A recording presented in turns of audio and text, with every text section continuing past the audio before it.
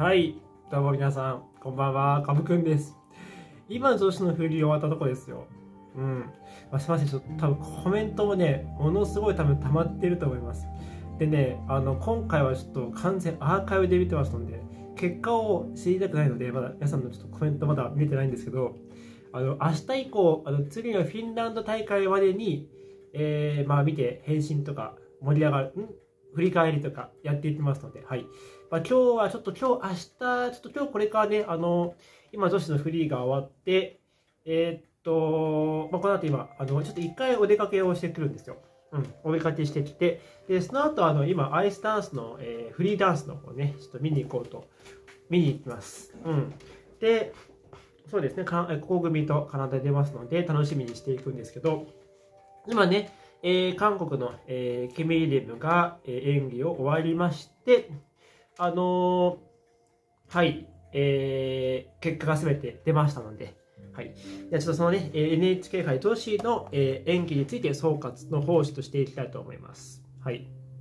はい。で、まずはですね、あの、キミレム選手の演技についてまだ話してなかったんで、最後ですからね、えお話をしていきたいと思います。えー、韓国のキミレムはですね、あの、彼女は、え、ー、と、綺麗なピアノ曲で、え滑っていましたね。うん。で、このプログラムは特に、えステップシークエンスからコレオシークエンスのところ、の、え曲調の感じが、まあ、壮大になったりするんで、えー、そこが本当にあの美しくて、えー、素晴らしいと思います。壮大感を感じる。で、えー、っと、コレオシークエンスのイナバウアー。これはショートの時はね、やって、イナバウアーやってましたけど、本当に美しいです。美しい。うん、これが彼女の見せ場になっているというふうに僕は感じています。うん、で彼女、キミ・リム選手っていうと安定感の女王というイメージがあるんですよね。で今シーズン、昨シーズン前までは本当にジャンプが本当に大きなミスが少なくて、あっても1、2ミスという、ね、感じで、本当にこう、まあ、クールビューティーというか、本当こう、まあ、え静かにこう演技をする。うん、で今季は、まあ、曲調も彼女のそのショートもフリーも、まあ、彼女らしいというか、まああのありきたりの曲じゃないと言いますかね、結構その名作、名作になりやすいプログラムと言いますか、そういった感じの、えー、と曲、演技を作ってきています。はい。で、まあそういった意味で、まあオリンピックも終わって、まあ今季ということで、まあなかなかその、まあ疲れとかもあるかと思うんですけど、ただそんな中でですね、今季は彼女はちょっとミスが、まあ各大会でフリースケーティング多いというところで、もちろんね、まあガッツポーズをしていい大会もあるんですけど、ちょっとこう制裁を書いてるかなと。いつもの彼女に比べるとちょっと制裁を書いてるかなっていう感じがします。うん。で、えー、前回の、えっと、フランス大会、イギリス大会かフランス大会、前回のね、グランプリシリーズでも、まあ、ちょっとトリプルフリップだったりとか、ルッツだったかな、で、まあ、転倒があったりとかしてですね、結構その、まあ、彼女らしからぬミスがあったわけですね。うん。で、それでまあ、今大会 NHK 杯迎えていて、まあ、優勝をすれば、まあ、確実にグランプリファイナル行けると。で、彼女は2位だったんで、え前回が、だから2位だとしても、まあ、結構行きやすいという状況だったんで、えー、まあ今回、その、キム・ウィレムは、えー、っと、1位からのスタートだったんで、いい演技をすれば、もしかすると、まあ、ファイナルに行けるというところだったわけですね。うん。で、え、っと、今回の演技をちょっと振り返っていくんですけども、あの、彼女はですね、え、っと、えー、まあ、最初のダブルアクセル、あトリプルルート、トリプルトーだったかな。うん。あ、ちょっとメモメモってませんね。これすみません。メモってなかったんですが、1、2、3、4、多分トリプルトリプルトーです。これは決まったと思いますね。決まった。うん。ただね、あの、トリプルフリップ、前半のトリプルフリップのとこで、えー、ワンハンドタッチ、まあ、つまりこう、片手をついてしまったということなんですね。うん。で、そこで、ああ、なんか嫌な予感がするなとあったんですが、まあ、トリプルループは決めた。で、問題なのは、後半のトリプルフリップでもちょっとミスが出てます。で、これは今度は転倒です。うん。はい。で、その後、まあ、トリプルルッツ、ダブルトーループ、ダブルループのコンビネーション。これは非常に綺麗に決まりましたし、えトリプルアクセルからダブルアクセルのジャンプシークエンスも良かった。で、スピンとかも割かし良かったかなというふうに感じます。うん、ただですね、あの、どうしてもこのトリプルフリップが前半も後半も、まあ、マイナスがつくと。まあ、特に後半はミス、転倒をしてるわけなんで、ちょっとトリプルフリップに、えー、まあ、あの、鬼門になってる、鬼門になってるかなっていう感じがします。で、特に、まあ、トリプルフリップは結局、まあ、2つとも転倒、まあ、えー、転倒、2つ目転倒なんで、えー、コンビネーションジャンプつけれなかったんで、ままあ、その繰り返しになっちゃって、まあ、基礎点が下がってしまってからの減点なんで、結構大きな減点になっちゃうわけですね。うん。はい、っていうことなんですが、うん。ただやっぱトリプルフリップが彼女はどうしてもこう課題になってるのかなっていう感じは僕はします。うん。まあ、前回もトリプルフリップで確か転倒があったと思うんです。た多分ね、トリプルフリップですよね、確かね。うん。だからまあ、もしかすると、これは僕は推測なんですけど、彼女は多分トリプルルッツの方が得意な気がするんですよ。で、フリップはちょっとアウト気味になっちゃうから、あの、まあ、ちょっと意識しすぎて失敗があるのかなっていう感じが見受けられますね、多分ね。うん。何が原因なのか分かりませんけどね。うん。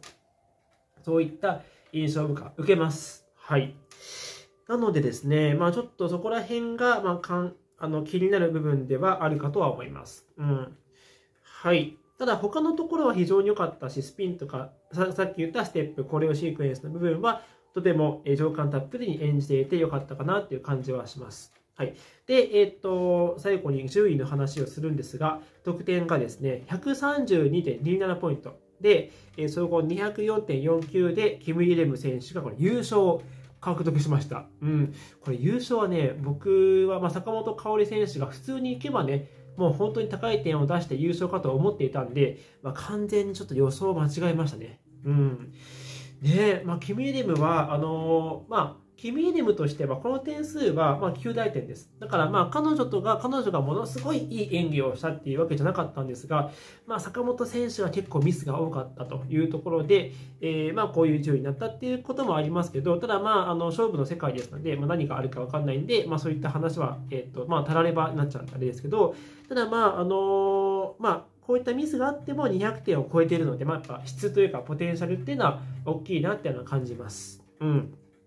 はい。まあ、これがキム・イレム選手のお話。で、あの、まあ、他の選手はね、先ほどもちょこちょこ動画を出してきたんで、そこで全部お話、魅力であったりとか感想を話してきたんですが、まあ、この演技をちょっと総括すると、まあ、その、やっぱりこう、まあ、坂本選手もね、201.83、200点超えてるわけですよね。うん。まあ、でも、あの、やっぱりこう、際どい勝負というところありましたけど、うん。まあ、やっぱりミスが少なかったキム・イレムに軍配がいったかなっていう感じはしますね。うん。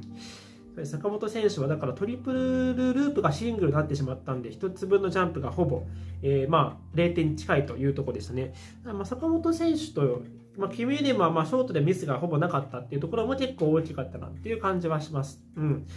まあ、坂本選手としては、まああのまあ、このね、まあ、キム・イレムも坂本花織選手もおそらく、えっとまあえー、グランプリファイナルには行けますので、まあ、そこでこう、まあ、どちらも磨いていくと思うんで、まあ、そこに向けて、うん、まあ、またこういろいろ演技とか見直してジャンプも練習していくのかなっていう感じはしますね。うん、で今回 NHK 杯全員選手見てきましたけど本当にミスする選手は非常にまあ多かった気はします。うんで、ジャンプのミスがなかった選手でいうと、韓国のジ・ソヨン選手。この女の子は、ジャンプのミスはほぼなかったんですが、まあ、それ以外の選手はほぼ皆さん、何かしらのミスがあったりとかしてましたね。うん。なので、まあ、全体的にミスが多かった大会にはなったかなと思います。うん。はい。そんな感じですね。それから、あと、ファイナル争いということで考えると、渡辺凛香選手の5位、これは非常に悔しいです。うん。やっぱ彼女はスケートカナダで、えーとまあ、優勝をしていますので、まあ、あの4位に入れば、まあ、4位だとまだ分かりませんが、3位に入ればね、確実にグランプリファイナルでいけるっていうのがありました。で、彼女は、まあ、普通にやれば、まあ、1、2ミスだったらね、普通に高い点が出て、まあ、3位以内に入ってた可能性はあるんですが、まあ、少なくとも4位に入ってた可能性はあるので、まだからまあそのところでですね、やっぱかなり悔しさっていうのは出てきてしまいますね。うん。ね、ちょっと僕もこれは予想外でした。うん。やっぱその、まあ、グランプリファイナルの緊張感であったりとかも多分あったかと思うんで、まあ、結構その今年からね、彼女はグランプリシリーズデビューということもあるので、やっぱ緊張とかもあったかと思うし、まあ、そういったところでの、まあ、プレッシャーだったり、まあ、え足が震えてしまったりとか、まあ、今回の表情とかも良かった気はしますが、まあ、出だしはちょっとね、まあ、緊張感あるかなっていう感じはやっぱありましたね。うん。まあ、そんな中で堂々とした演技だったかなとは思います。でも彼女もジャンプがもう2、3本のミスがあって、でも高い点が出てるかなっていう感じはしますので、ポテンシャルは、えー、と大きいですね。うん。はい。まあ、そういうふうに感じますね。うん。惜しかったな。グランプリファイナルは厳しいかな。どうなんだろうね。うん。あの、まあ、えっと、フィンランド大会次第になってくるのかな？うん。はい。まあ、そんな感じです。で、これはもうスター・アンドリュースにも言える、言えますね。まあ、彼女は、あとスケートカナダだったかな？スケートアンビカナダだっただったかな？で、まあ、2位を持ったんですよね。うん、だから、まあ、彼女も2少なくとも2位になれば、まあ、ね、そういった可能性はありましたが、まあ、彼女の場合は、まあ、やっぱりね、他の選手のメンメンツを考えると、まあ、ちょっと厳しいかなっていうのはありますけど、ただやっぱりね、えー、そういったプレッシャーとか、ね、あるとあったと思うんで、ジャンプがほとんど振るわ振るわなかったっていうところは、やっぱ良くなかったなっていう感じはするし、それはアンバー・グレン選手。アンバー・グレン選手はフリーでは良かった気はしますけどもね。うん、ちょっと、まあ、ちょっと悔しい感じがあったかなと思いますけどね。うん。まあ、それから、そうですね。まあ、住吉リボンちゃん、まあ、さっき話しましたけど、えー、まあ、住吉リボン選手と、うん、は、まあ、今回3位で。で、フランス大会も3位なんで、3位と3位だとちょっとね、3位、3位だと、これ、イーヘインちゃんも3位、3位なんで、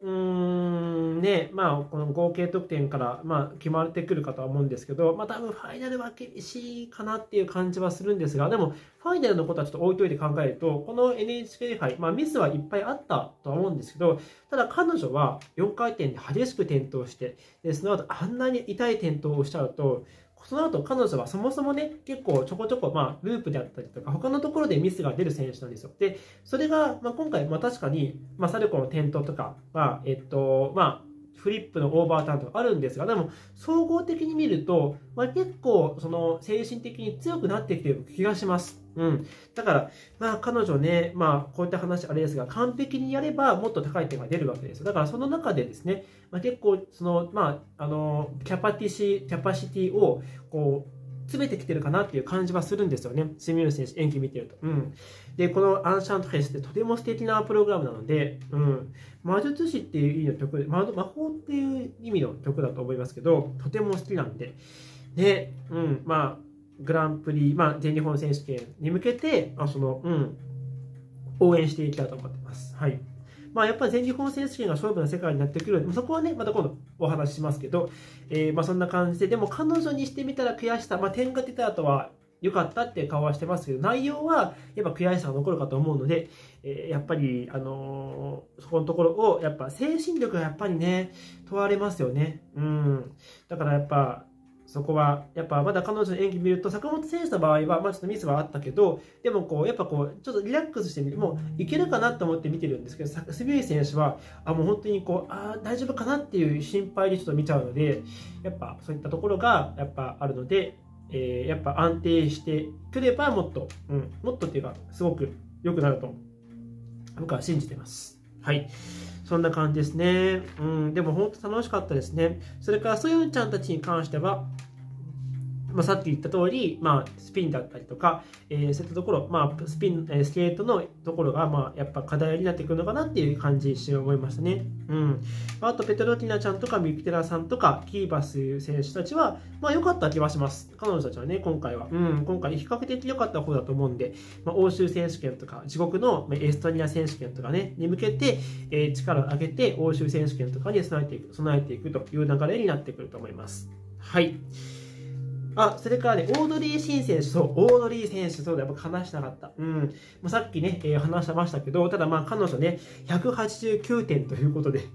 まあ、あの、言っちゃうとあれですけど、オードリー・シンの上に渡辺凛香選手が行けばですね、まあ、1位と4位で、えー、ファイナルに行けた可能性があったんですけど、ただ5位と1位だと厳しくなっちゃうんで、まあ、このオードリー・シンが蓋をしちゃった、うん、っていうところは結構ね、うん、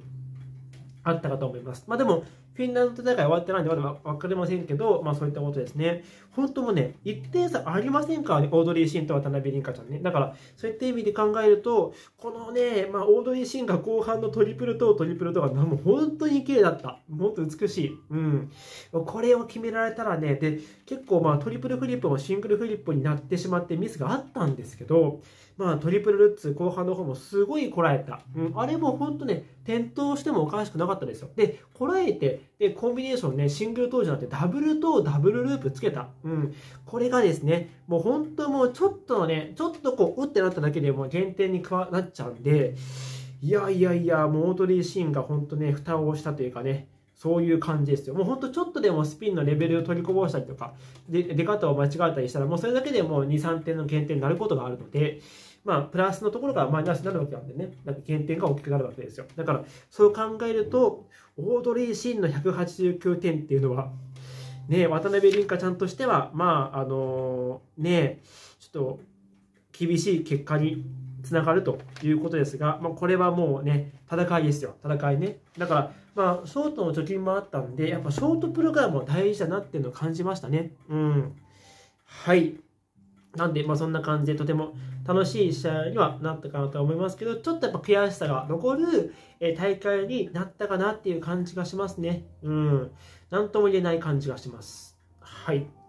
というわけで、こんな感じですけどね、皆さんもいろいろコメントありがとうございます。ちょっとコメントまだ、あの、今回、結果を僕は知りたくないんで、まだコメント見ていない見見ない見ら見れていませんけど、今男子のフリーも終わってるんでね、ちょっとまだ僕も結果わかんないんで、うんまあ、これを今日の夜から明日、明後日あたりにかけてちょっと見ていって、えー、その後に、まあ、コメントを見つつ、えっと、まあ、なんだ、振り返りだったり、点とかの振り返りを、まあ、フィンランド大会までにやっていこうと思ってます。はい。えー、というわけでね、えー、これで NHK 杯女子、えー、フリースケーティングのお話は、